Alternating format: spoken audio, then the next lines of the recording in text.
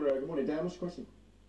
Alright there, well you came much like this time of year, every cunt's buying on about parsnips and all that, so what's a bad excite for Christmas, eh?